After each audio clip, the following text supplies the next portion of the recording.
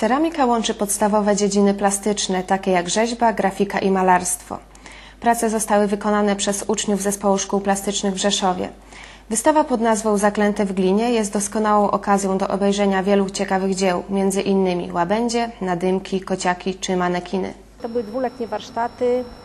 Y, Warsztaty prowadziłam y, z profesorem y, Leszkiem Kuchniakiem, rzeźbiarzem i profesorem Krzysztofem Brzyzanem, y, również znanym rzeźbiarzem rzeszowskim.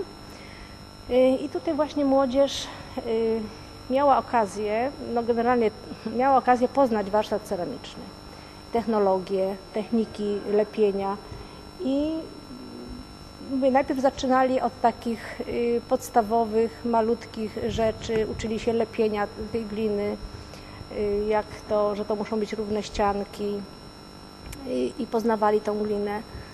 No i mówię, no, to jest dosyć trudny i żmudny proces, y, wymagający troszeczkę też takiej pokory. Y, Także podczas tych warsztatów dwuletnich uczniowie się y, nauczyli bardzo dużo. Mamy tutaj przykłady bardzo różnorodnych prac, bardzo skomplikowanych, które świadczą o tym, że ta młodzież naprawdę osiągnęła mm, no, super wyniki po dwóch latach.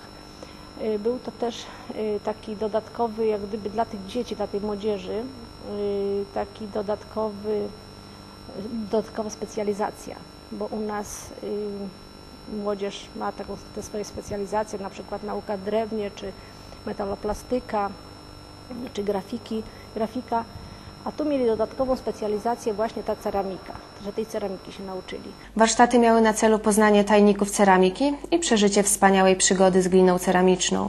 Uczniowie mogli nauczyć się techniki budowania formy, szkliwienia i wypalania.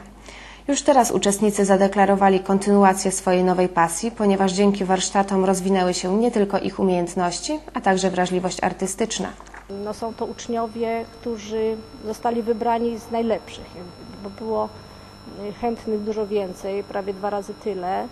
Y, Oni mieli egzamin wstępny, zakwalifikowali się, no i potem y, no, swoją taką wytężoną pracą, bo musieli y, raz w tygodniu, cztery, przez 4 godziny zostać jeszcze po lekcjach, więc to takie dodatkowe obciążenie było dla nich. Y, No, pracowali tutaj wytrwale i muszę powiedzieć z wielką satysfakcją, że w zasadzie wszyscy jak gdyby połknęli tego bakcyla ceramicznego. Projekt pod tytułem Heca z pieca jest współfinansowany ze środków Unii Europejskiej. Jak mówi prowadząca Anna Has-Brzuzan, program dał wielu życiową szansę i zaszczepił tę dziwną miłość do ceramiki. Zapraszamy wszystkich zainteresowanych do Galerii Miejskiej, gdzie będzie można osobiście zobaczyć te niesamowite dzieła sztuki.